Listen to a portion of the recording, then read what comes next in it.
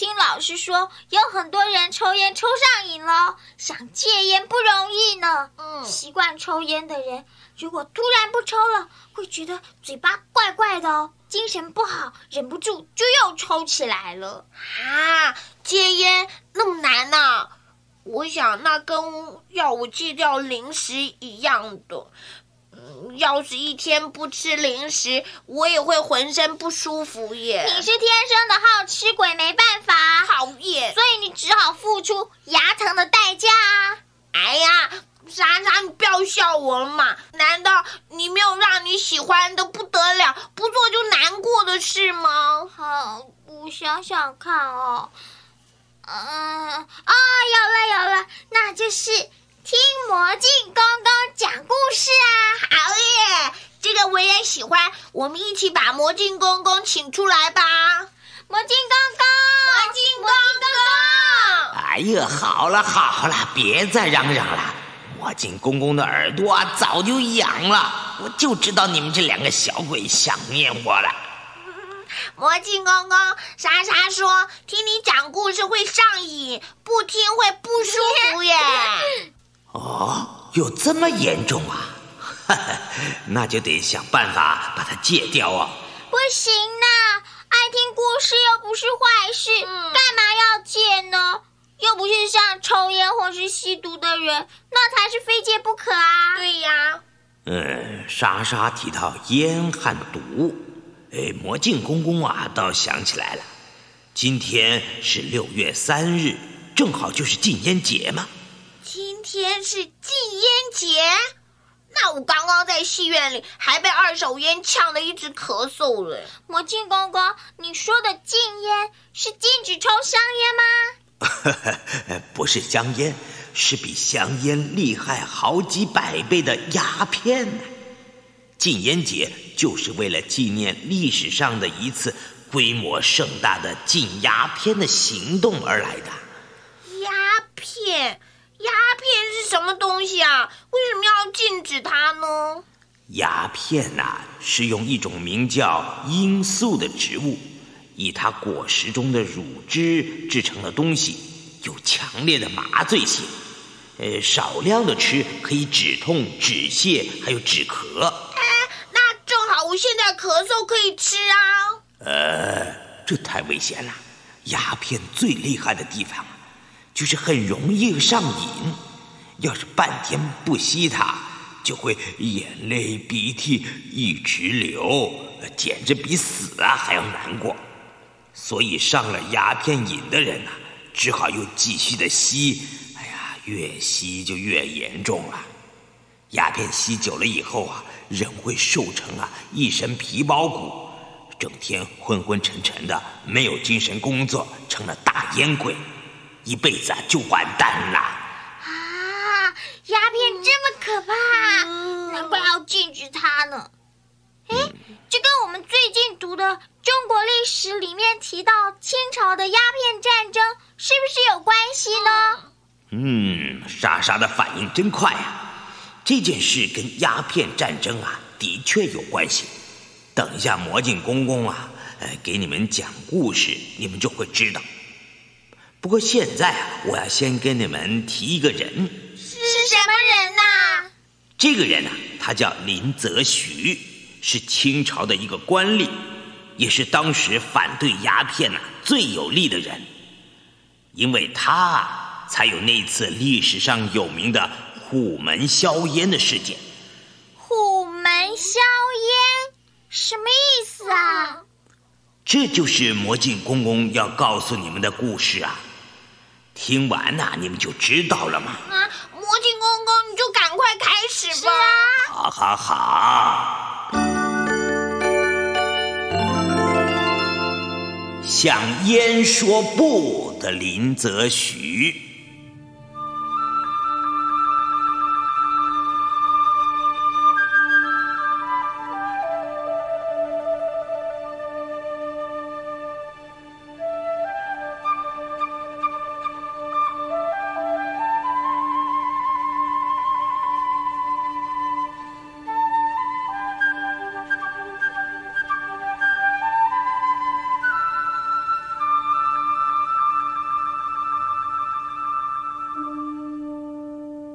小朋友，你知道什么是鸦片吗？鸦片啊，这是一种从罂粟花里面提炼出来的东西，它可以用来治病。可是如果吸多了，就会上瘾的。上了瘾之后，只要一天不吸啊，就会流鼻水、流眼泪，浑身颤抖，整个人啊就像是丢了魂似的，难过极了。那种滋味啊，可真是不好受呢。所以就有人把鸦片形容成是一个恶魔，只要是沾上了它，它就会一辈子缠着你，直到榨干你最后的一毛钱，吸干你最后的一滴血。最后倒下来为止，这么可恶的恶魔，小朋友，你们一定会离他远远的，对不对？可是，在大约两百多年前，咱们的老祖宗啊，却不知道它的可怕，哎，还叫它福寿膏，那意思啊，就是吸了之后会天福天寿。于是，他们就一代接着一代的不停的吸着呢。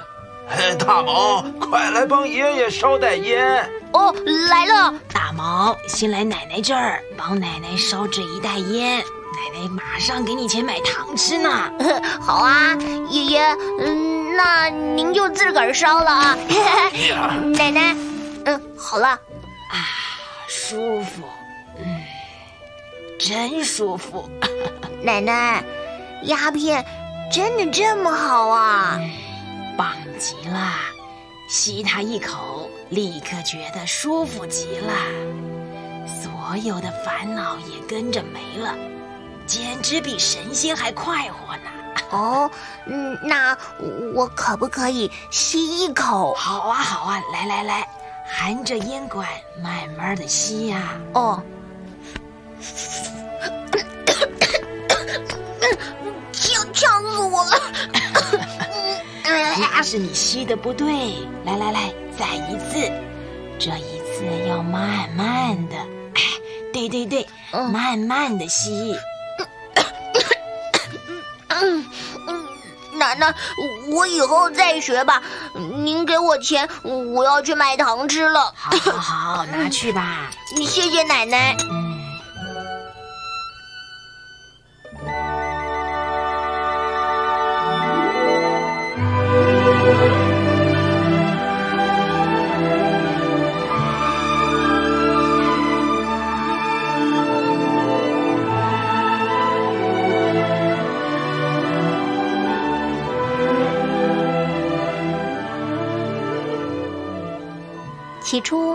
像大毛这种有钱人家才会抽鸦片的。但是到了清朝第六个皇帝道光皇帝的时候，不但是有钱人抽鸦片，甚至于连市场里头的小贩或者是农人、工人也都开始抽起鸦片来了。当时英国人正想要打中国的主意，于是就把一骚骚的鸦片运到了中国来卖。起先呐，他们卖的很便宜，等到吸的人多了，他们再把价钱给提高。这个时候啊，很多人已经上瘾了，就不得不任由他们摆布。英国商人因此就赚了很多很多的钱。朝廷虽然派了一些官员在扣押这些个商船，可是却没有什么效果哎。这一天。码头上又停靠了好几艘装着鸦片的大船，有两个洋人正吆喝着工人们把鸦片扛上岸去。快点，快点，不要慢吞吞的。呃，我们的动作已经够快了。哎，少啰嗦，快点，快点搬。喂，小心点啊！要是掉进海里，你做一辈子的苦工也赔不起哦。工人们正一箱一箱的搬着。这时候，有几个官差远远的走了过来，沿途还有人在吆喝着说：“哎哎，大人，就是他们！哎，他们正把鸦片搬运上来，快抓他们！抓他们！”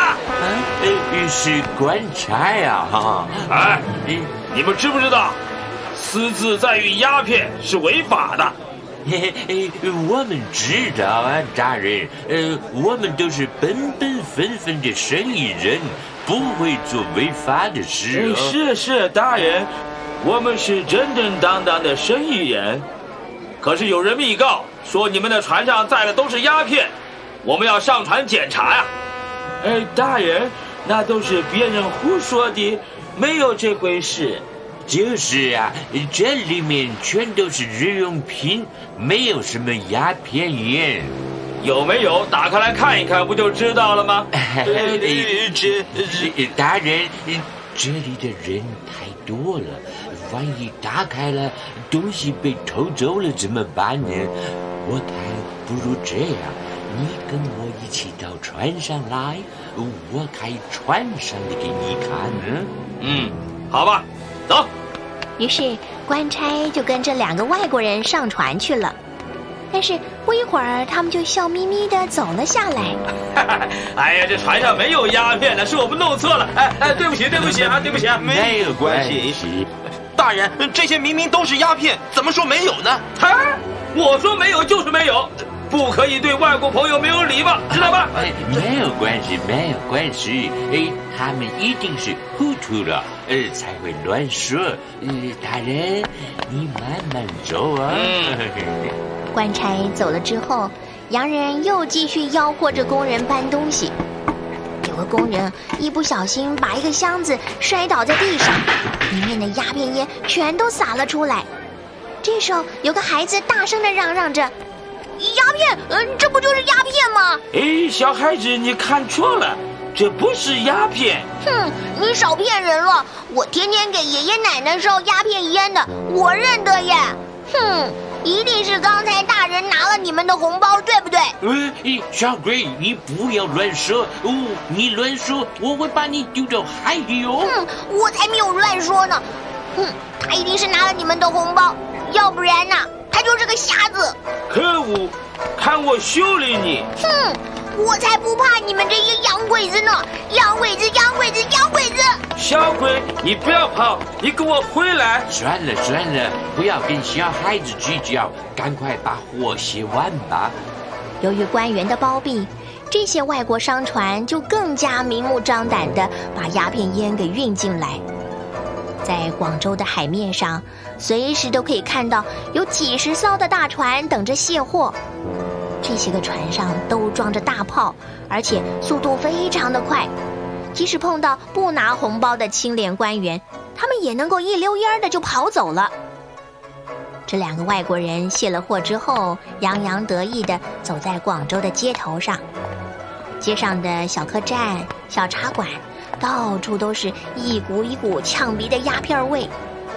一群懒懒散散的人。拖着长辫子，成天就躺在椅子上吸鸦片，烟毒把他们一个个熏得瘦巴巴的，真是啊，三分像人，七分像鬼呢。哎，这些中国人真是奇怪了，为什么那么爱鸦片呢？你知道他们管鸦片叫什么？叫什么？叫做福寿膏。哈哈哈哈哈！哎呀，这一群傻瓜蛋，鸦片只会要他们的命，不会给他们添福添寿的。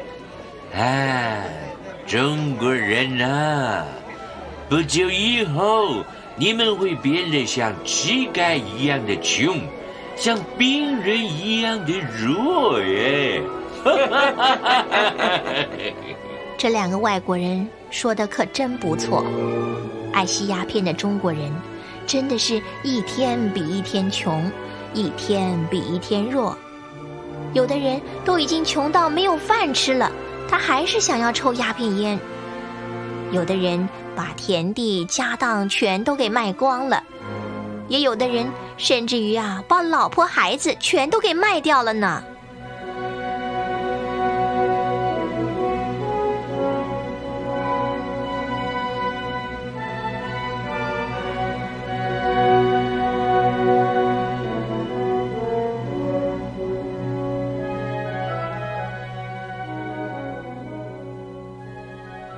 光皇帝决心要全面的禁止人们吸鸦片，他派了钦差大臣林则徐赶到了烟害最厉害的广州。林则徐到了广州之后，把在书院里头读书的大学生找了来。各位，今天我要举行一个临时测验，希望你们能够好好的答题。什么？要考试？钦差大人，我们没准备啊。是啊，可不可以过几天再考，让我们回家温习温习？钦差大人，嗯，把大门关上。是。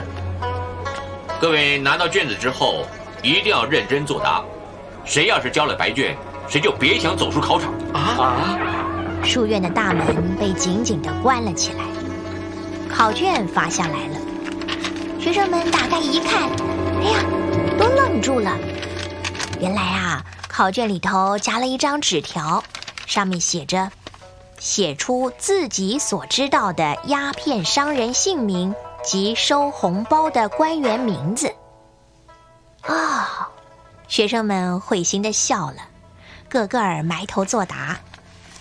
由于这些学生们是来自于四面八方，所以他们知道的情况当然很多了，而且他们也都非常痛恨那些鸦片商人，因此就将他们所知道的事情毫无隐瞒的全都写了出来。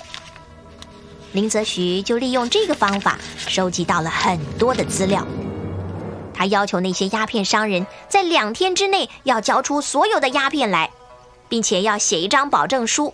保证永远不再把鸦片运到中国来，否则的话，货物没收，商人处死。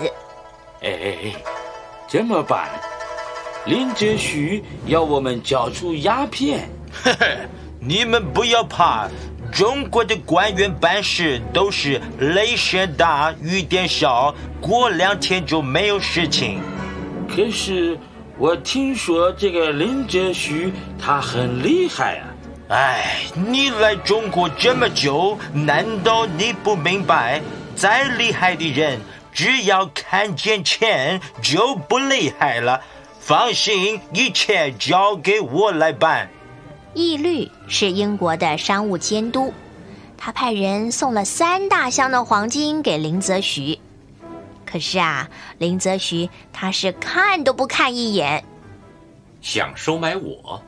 哼 没那么容易，来人呐，在，派一千名官兵去包围鸦片商人住的地方，同时封锁海上的交通，不准他们任何人逃走。是。听说林则徐采取行动了，附近的老百姓也纷纷的拿起了锄头、木棍去助阵，因为啊，他们实在是恨透了那些鸦片商人。哎，这么办？我看我们还是投降吧。我是大英帝国的臣子，怎么可以投降？可是不投降是不行的。你请烟鬼子出来！洋鬼子出来！洋鬼子出来！出来！洋鬼子出来！哎呦，吓死我了！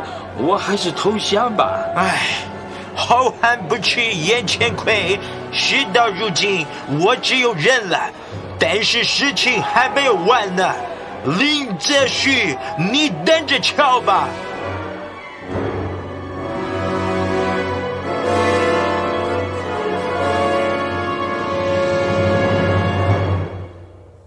英国人叫出来的鸦片一共有两万多箱。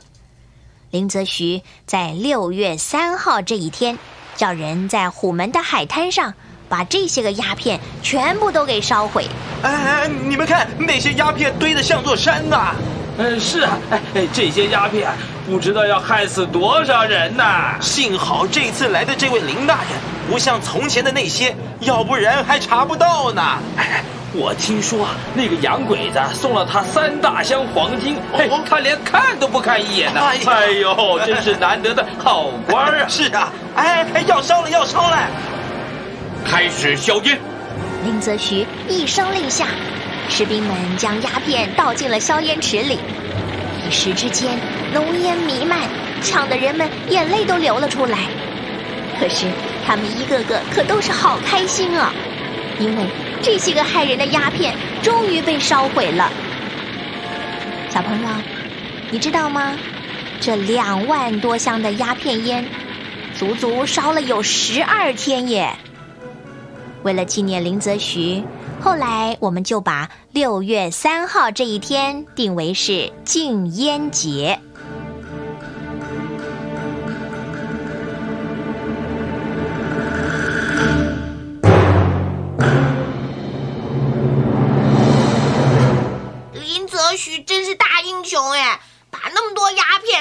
一口气都烧光光，那些英国人一定是气扁扁了，活该！